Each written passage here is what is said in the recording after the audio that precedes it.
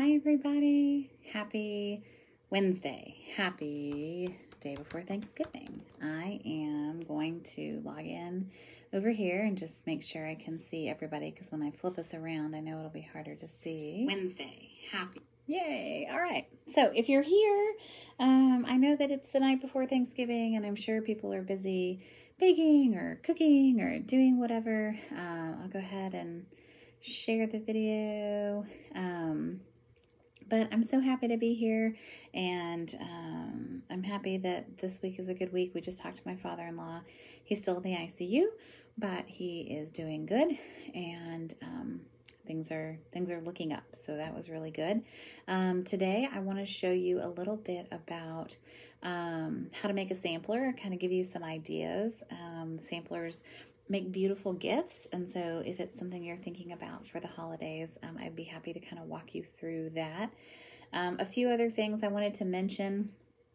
I can actually extend through tonight. So, on the live, if you um, comment that you want to attend my stocking stuffer class, then um, I can fit you in because I'm going to place that order tonight. So if you're um, you want to join the stocking stuffer class, you can. It is twenty five dollars for porch pickup or thirty three to have it priority shipped to you. It includes um, on and StazOn ink remover. That's our permanent ink. If you already have, hi Sharon, hi Melissa. If you already have Um, you can sub out $16 worth of product. But again, you need to let me know tonight um, because I'm going to close that um, tonight and get that shipped ASAP. So um, please, please, please let me know um, if you want to come. The stocking stuffer class we're going to make a coaster. We're going to make a really fun photo holder. We're going to um, do a stamp a canvas bag. Um, I got the little canvas bags in. They're super cute. So I'll show you how to do that. Um, this is um, this is an old one that I had done, but this is one of the little photo holders on the tumbled stone. Um, we're going to make an ornament um, and we're going to make a boozy hot cocoa holder. So that'll be fun. So there'll definitely be some paper stamping but also a lot of 3D projects and things that you can give as little gifts for the holidays. So yay for that. Um, I wanted to showcase, um, I did my, um, I'll flip it around actually before I showcase that. But before I kind of flip you guys because it's easier to see this this way. So this is one of the samplers I designed last year and it features the most wonderful time of the year. I'm gonna say I'm gonna I'm gonna say I got that wrong. No, most wonderful time. Yeah. So this is one of the samplers that um, I designed last year.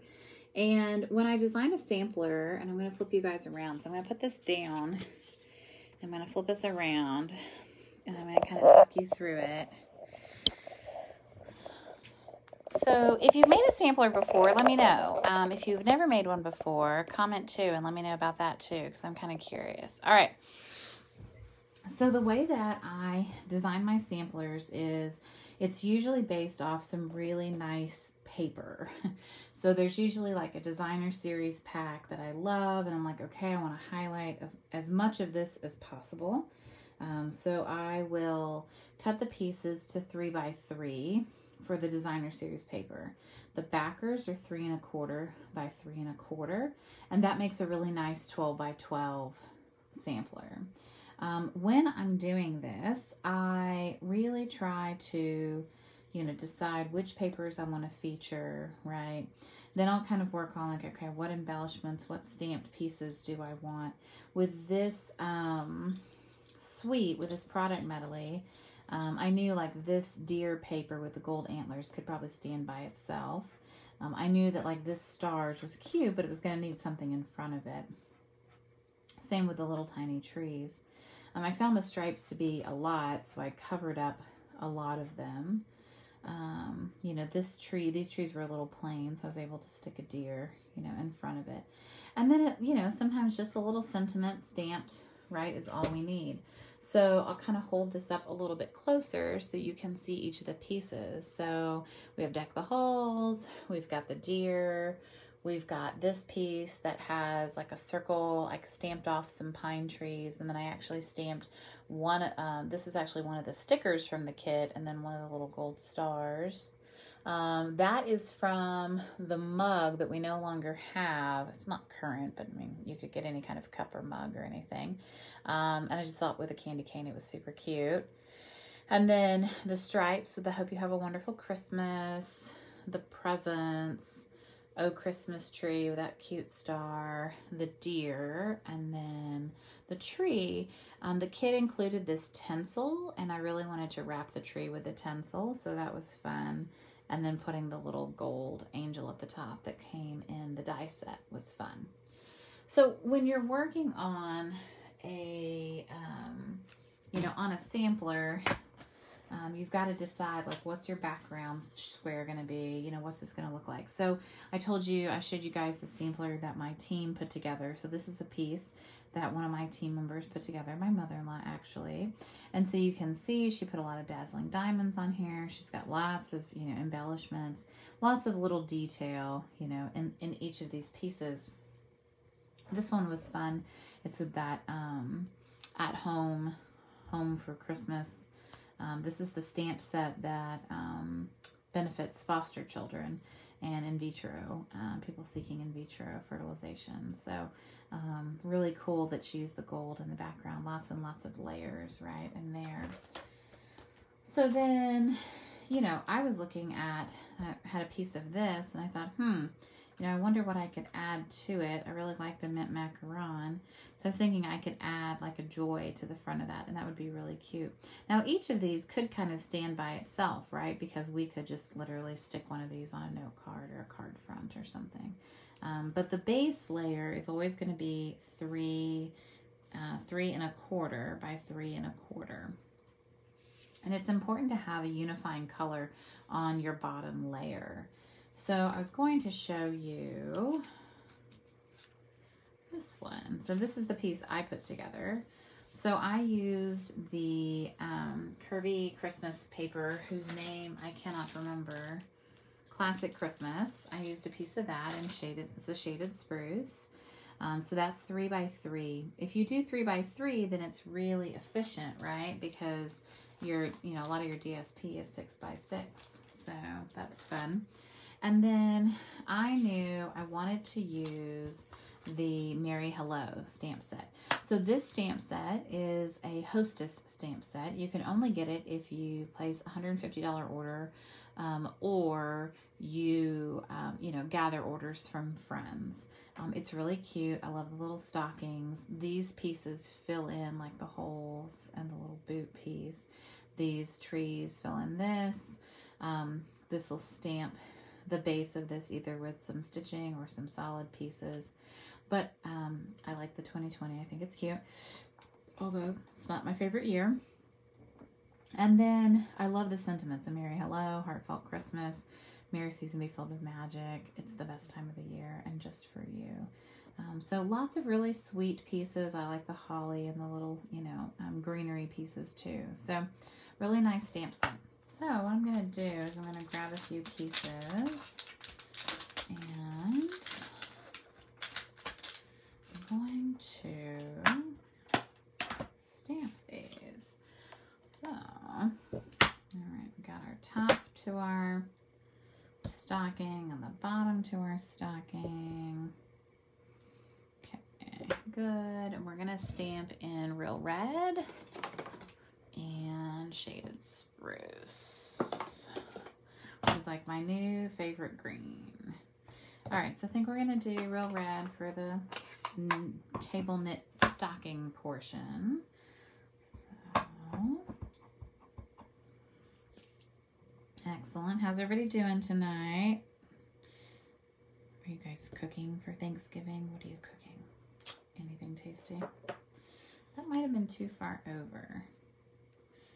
Well, that'll be just fine. We'll make it work. We're going very simple for Thanksgiving tomorrow.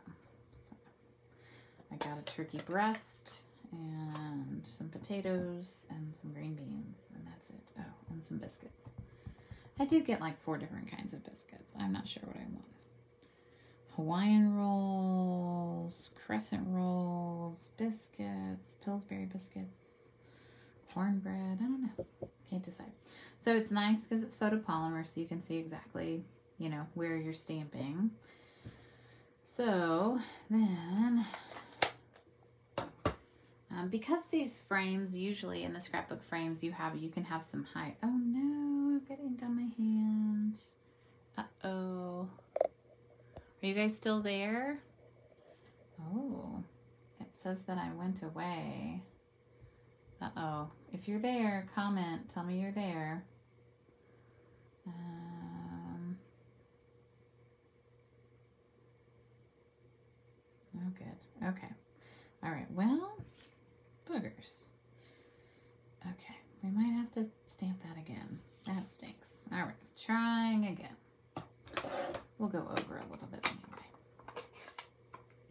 Yes, so for those of you who know personally, my father-in-law has been very sick lately. He was in the ICU for, he's still in the ICU for like 10 days, 11, 12 now, I think. Um, he'll be there for a little while longer, but they've gotten, they've done all the surgeries and everything they need to do. So hopefully he's just on the road to to recovery and it's just been a wild time in our house. But hi, Linda.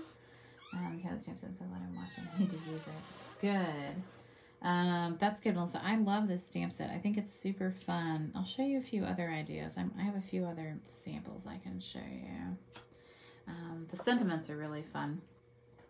So, um, all right, so we've got our little topper and we've got this and I'm not going to put my whole hand in Shaded Spruce ink. And then I had already stamped the little Merry Hello up on here.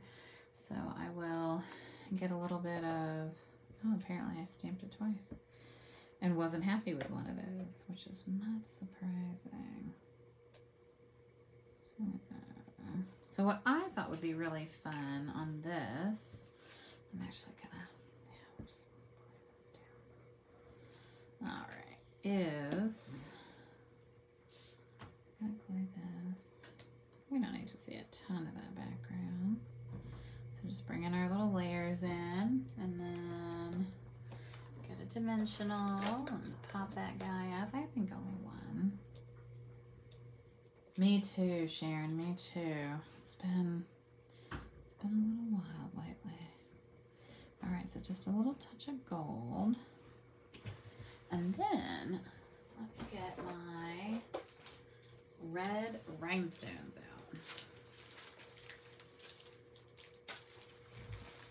I could also use these ones. This might be fun. So these are the wonderful gems and these are the red rhinestones. I don't know. Maybe I'll use the wonderful gems on this one. As you can tell, I have a preference for these kind of gold gilded ones, right? I like the clear ones, and I obviously have a ton of the red ones left. But we can put these, oh yeah, in here. My nails are so long, I can use them as a take a pick tool right now. It's pretty funny. All right.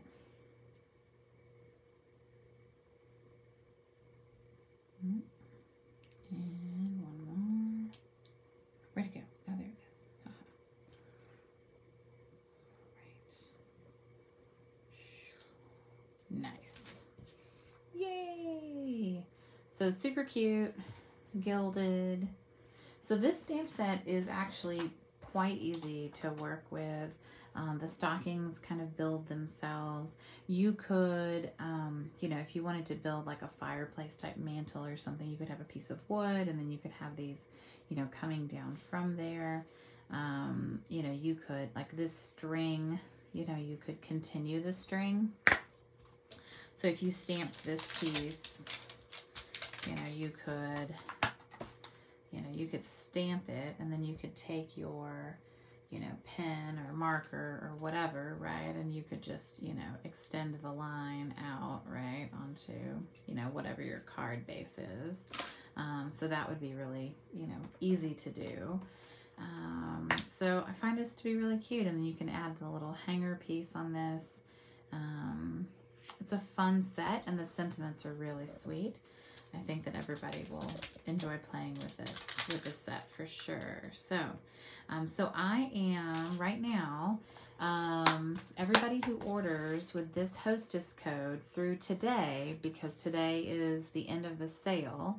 Um, I had made it 8 p.m. Central, but I will I'll give you until 9 p.m. Central. But if you use this hostess code, the X3RNP32P, then you will actually get an extra 10% back through PayPal or Venmo. Like I will give you an extra 10% off. Um, and then, um,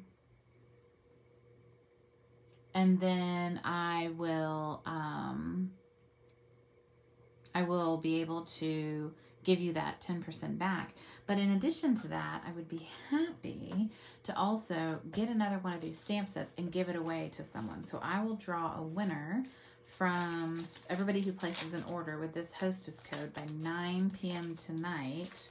Um, and I will draw one person to get the Merry Hello stamp set. And then I will also, of course, still give you your 10% back um, because I'm trying to get a few more orders in this month. It's been um, it's been kind of a kind of a wild month, and I definitely am fortunate that I was able to kind of step away when my father-in-law was really sick, and and that was really great. Um, and I just a blessing to be able to have Stampin' Up, you know, and have it, you know, work for me even if I'm not currently working it. Oh, Melissa, I was so sad about that. I know. Boo. Um, well, Melissa, I can't wait to see what you do next year because you do beautiful work. So um, we do that a team sampler and it's quite pretty. I'm going to show you guys my gnome cards. I need to put them up on the blog, but we did our gnome. I did my gnome class last week and it was super fun. So if you have the gnomes, I would highly encourage you to get them out and play with them. So fun. And this one, I made a mushroom out of that red velvet paper and the whale punch is super fun. So, um, yeah, so uh, gnomes were fun. We had a good time with them. And then the other thing I wanted to show you, um, if you watched the live last week, oh yeah, and we made this cute little curvy keepsake box. Um, oh, I just threw my glue into a, a container. This, if you watched the live last week, you probably saw that I made um, the Double Wonder class. And so I wanted to show you the finished projects from the Double Wonder. And so it made four of each of these cards, right? Um, and then, I think I can go up even higher. So I'm trying to see what my, my space space limits are here. And then it made two of these and it made one of these. So these are all the beautiful cards that we made last week on the Double Wonder class. So if you haven't watched it, it's on the YouTube or you can go back here on Facebook and watch it. Um, and I also link to the Double Wonder cutting guide. Um, so I uh, would love to see what you're doing with your very, very pretty designer series paper. This paper from the Gleaming Suite is gorgeous. And so this obviously was a you know, a great choice. Um, you know, it really showcases the very, very pretty paper that we have. So, um, hopefully, you know, I gave you some hints and some tips about how to make sampler squares and pieces. You know, the measurements are pretty easy, right? Starting with that three and a quarter by three and a quarter. I usually then do a three by three piece of DSP just because it keeps all my measurements nice and tight. And then I kind of decide what I want to do, you know, after that. Um, but if you have the most wonderful time, product medley, then you'll probably really like this designer series, uh, the sampler. Um, and this one has um, Old Olive as the, the base piece is what I did for this. So um, yeah, hopefully gave you guys some good ideas tonight. Um, happy Thanksgiving. Thanks for coming week after week. You guys are amazing. And I'm so thankful for each and every one of you. I hope that you have a wonderful Thanksgiving holiday. Uh, enjoy some time off. I hope there's some crafting in there. And um, yeah, I'll see you guys later. Have a good night. Bye bye.